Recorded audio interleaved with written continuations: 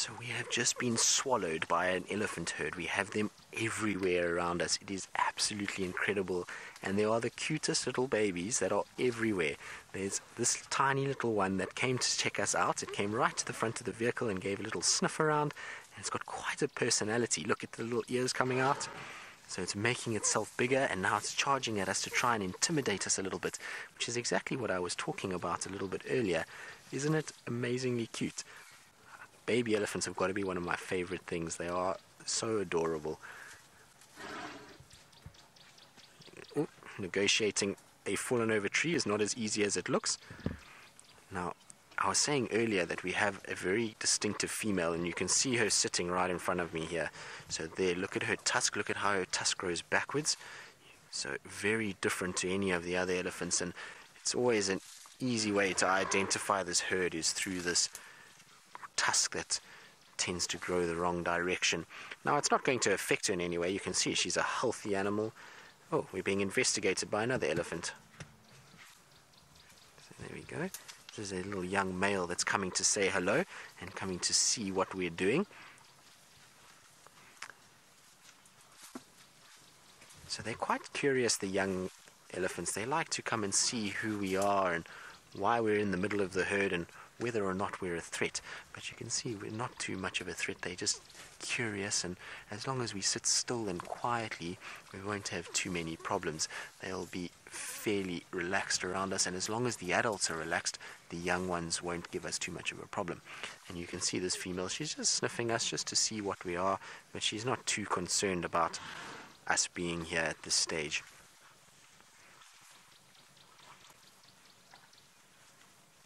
Isn't it incredible just to be in amongst them all? I can, can't describe the feeling that you get when you sit amongst them and there's all these bits of movement around you and there's feeding and there's trunks and ears and it is quite something to be a part of this. So I'm just going to get out the way, sorry guys. It's a little bit difficult when they're right here Got to do a bit of yoga to get out of the way of the camera a little bit. But look at the long eyelashes there. You can see the, how elephants have massively long eyelashes, and that's just to protect the eyes from all the dust. When they're throwing mud and dust all over themselves, they sometimes get a bit of dust into the eyes, and so that just helps to keep the eye nice and clean and free of dirt.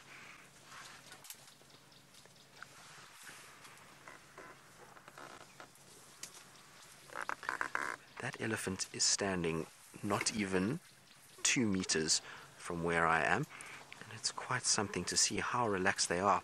If an elephant was very upset with our presence, it wouldn't have come anywhere near us. They ultimately have decided on their own accord to approach where we are. We sit quite far away from them, and they've decided that we're not something to worry about and have come closer to see. Now, that coupled with the fact that they're feeding means that we don't have to worry too much. An elephant that is upset will stop feeding and will be ears out, head up, raised, and it will take a very aggressive posture with you.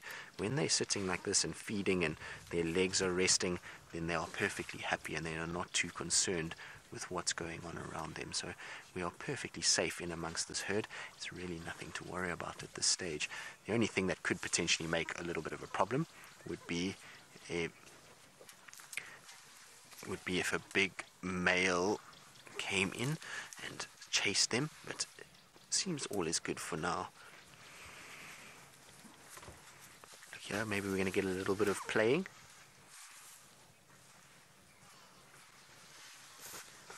Look at that. So typical young boys having a little bit of a playtime and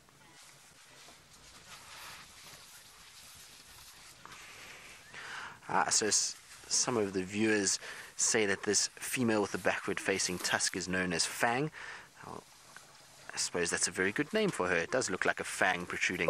And you can see the big bull coming down the road now. So he's done a whole big loop through this entire herd and is now coming straight down the road towards us. So we'll just keep an eye on him. Hopefully he's going to turn off, and he has, which is great, because if we're in his way and he feels like we're blocking his route to the females, he could be a bit of a handful. But he's turned off, and so all is okay at this stage. Now, let's just want to let one of the elephants that's really close to us move past us before I turn around because most of the elephants are at that little mud wallow that we were at earlier. They've gone and had a little drink and spray. So now that that one is moving off, I can turn around.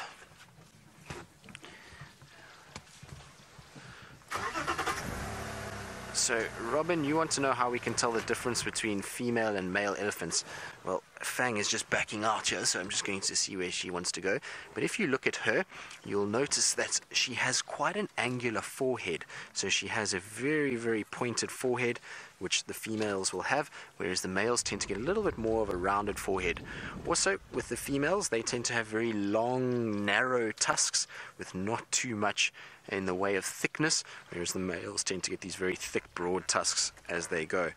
Um, also, the females will have a slightly longer distance between their front and back legs, and the reason why is their spine is a little bit more elongated to be able to allow for um, the calf that they're going to have to be able to fit. So the males is a slightly shorter distance between back and front legs. So I just want to try to see if I can go back because all these elephants are having a royal game in the mud wallow here. So I'm going to just try to see if I can edge my way back.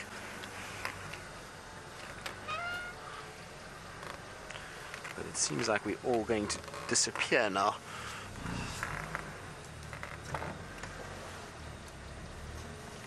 There we go. So unfortunately, I will try and reposition a little bit, but a male has also approached the mud wallow, so that's why everybody is scattering around and is moving off slightly. Now you can see the male here is busy smelling this young female. Now she's really, really small, so she's not going to be enjoying this attention from these males. I would imagine that this is probably the first time that she's coming into an estrus cycle. She's probably about that age, she's 11 or so around there, and that's why she's getting so much attention from the boys. You can see two different males are standing over her, the big male on the left and then the smaller one on the right, and both of them are scenting her.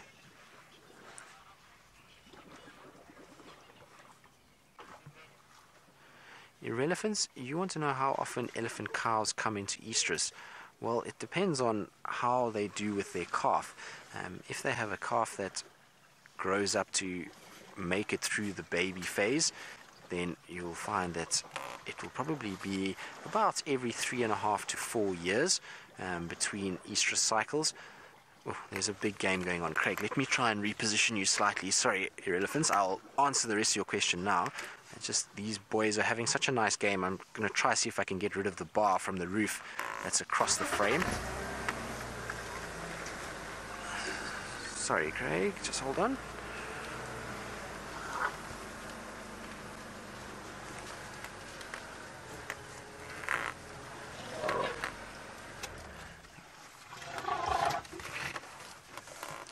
Um, so yeah, it's about every three to four years um, between calvings.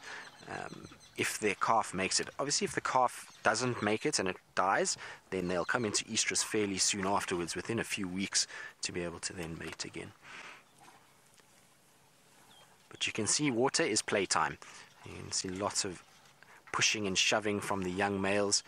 There's lots of greetings. You see that little one putting its trunk in the other one's mouth. That's a way that they'll greet one another and just check who it is. I wouldn't be surprised those two are siblings. It's an older brother and its younger sibling that are together there.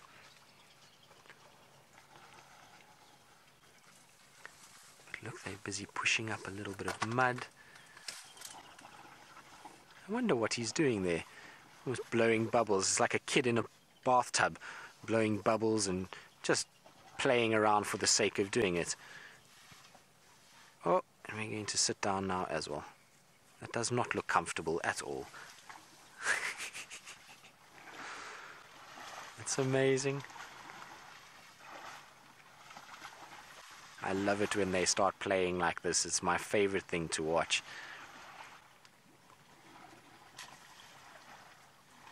Oh, look at this. Isn't this amazing?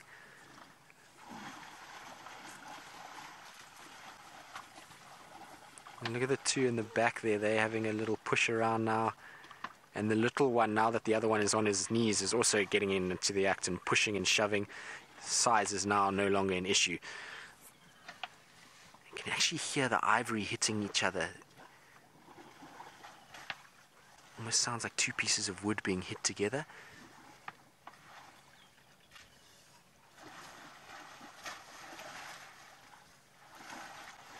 So that's how males will often break their tusks is playing around like this or if they're actually competing for a female then the fight becomes a lot more serious and those tusks clash into one of each, one another and often will then chip and break from that.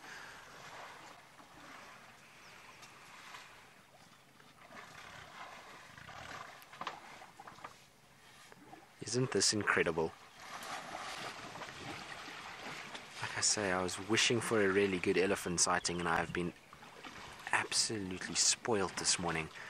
Having these elephants all around us and now playing in the mud. It's exactly what we were hoping they would do as well.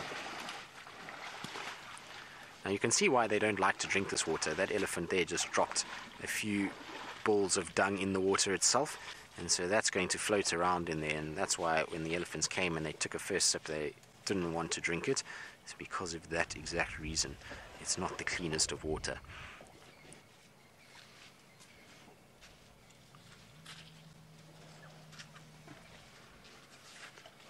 What an amazing sighting. And these two just don't stop, they're full of nonsense.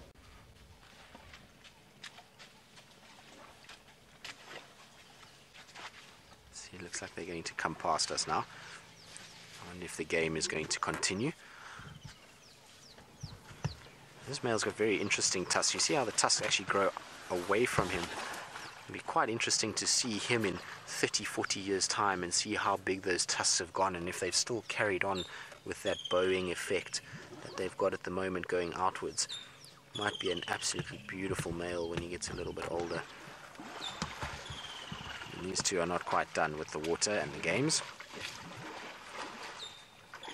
Hopefully this elephant doesn't take a trunk full of mud and start spraying it because we are directly in the firing line being behind it.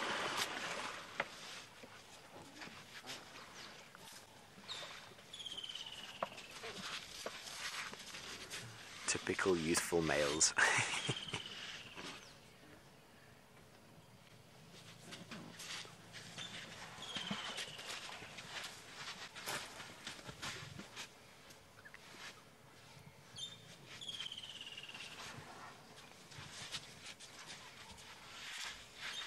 Isn't this incredible?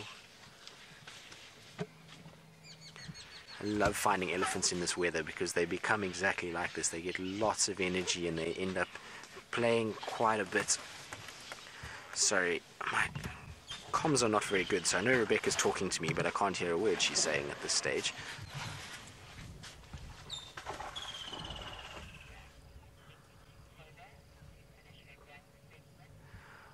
Alright, so thank you, Rebecca. Now I can hear you.